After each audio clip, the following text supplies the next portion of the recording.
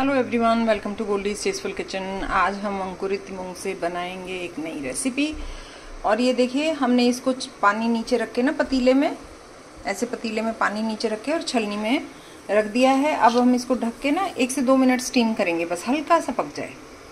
और ये देखिए, ये अच्छे से गल गए हैं, इनमें भाप निकल रही है। अब हम इन्हें ठंडा करने के लिए रख देंगे। आज आप देख रहे हैं, हम अंकुरित मूंग से सैलड बना रहे हैं और कितनी सारी चीज़ें हैं, ढेर सारी। तो हमने लिया है यहाँ पर एक कप अंकुरित मूंग, जिसको मैंने हल्का सा स्टीम कर लिया है।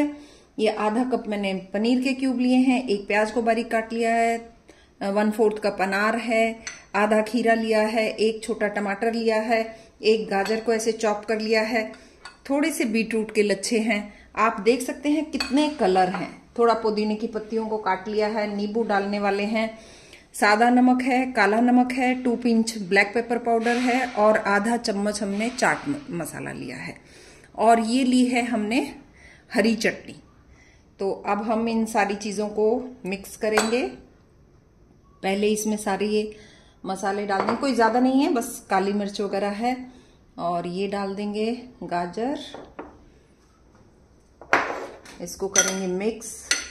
देखिए कितनी सारी सब्ज़ियाँ हैं और ये ना प्रोटीन पैक सैलेड है, फुल ऑफ़ प्रोटीन। पनीर है, इसमें अंकुरित मूंग है।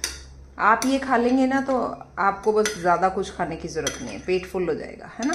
तो आप कुछ भी डाल सकते हैं इसके अंदर, एप्पल डाल सकते हैं, है ना? एक चम्मच हम डालेंगे इसमें हरी चटनी, इससे टेस्ट बहुत अच्छा आता है।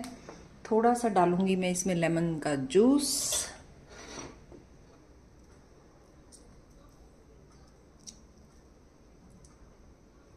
ये भी आप अपनी इच्छा से कम ज़्यादा कर सकते हैं।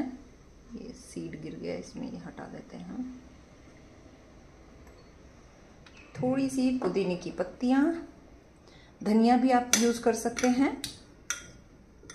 और अच्छे से मिक्स करते हैं टेस्ट करके देखते हैं। और देखिए, ये हमने सर्व कर दिए है। बीटरूट हमने साथ में नहीं मिलाई थी, क्योंकि इससे ना पूरा कलर चेंज हो जाता है। तो इसलिए हम ये ऊपर से ऐसे स्प्रिंकल कर देंगे। तो आप एक बार इस तरीके से सैलड बनाकर खाकर देखिए, बहुत बहुत यमी लगने वाला है। आप बताइएगा मेरी रेसिपी आपको कैसी लगी। Thank you so much for watching my recipe